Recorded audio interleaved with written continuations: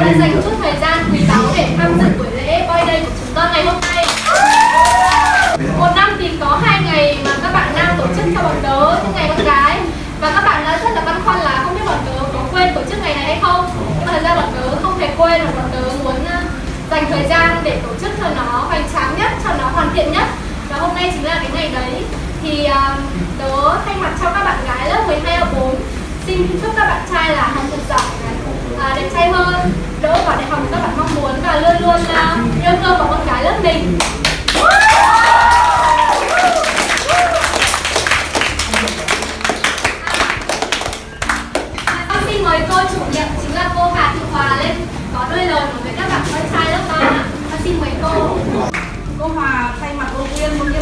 là các bạn à, nữ của lớp 12 A4 xin chúc các bạn nam lớp 12 A4 sẽ hưởng những cái tình yêu thương của những cái giai đoạn cuối cùng của chương trình à, học cấp 3 cũng như là tình bạn của cấp 3 và làm sao các bạn giữ mãi những cái kỷ niệm thật là đẹp này để sau này khi mà chúng ta quay trở lại thì chúng ta sẽ nhìn lại những hình ảnh rất là đẹp của những người người áo trắng. Và một lần nữa chúc à, các bạn nam càng ngày càng đẹp trai hơn, càng ngày càng ga lăng là về đích một cách là ngoan mục nhất trong năm mới sắp tới.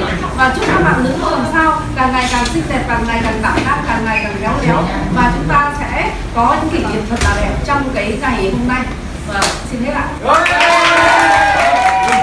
Ờ, hôm nay cô thấy ờ, các bạn nữ mà có cái ờ, sự nhiệt huyết và rất là khéo léo trong cái việc chuẩn bị ờ, dành những cái tình cảm cho bạn nam trong ngày uh, boy day hôm nay. Thì cô cũng cảm thấy là cái rất là vui thấy rằng là cái sự gắn kết giữa các con thì cô cũng ờ, trước hết là chúc cho tập thể lớp mình luôn luôn đoàn kết ờ, và ờ, các con nỗ lực hơn nữa để giành được những kết quả tốt nhất trong cái kỳ thi đánh dấu cái mốc quan trọng trong cuộc đời của các con. Cô chúc cho các bạn nam trong ngày hôm nay thì có thật nhiều những cái kỷ niệm ý nghĩa và các con mãi mãi là những người, đàn ông đẹp nhất trong mắt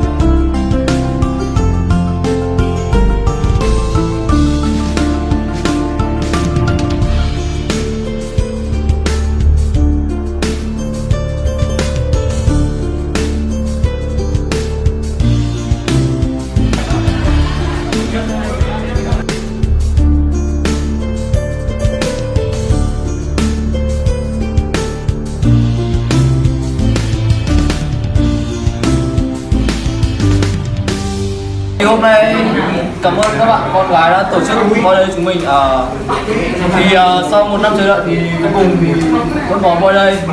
Và con cảm ơn cô và cảm ơn các bạn đã tổ chức voi đây của con. Giới thiệu.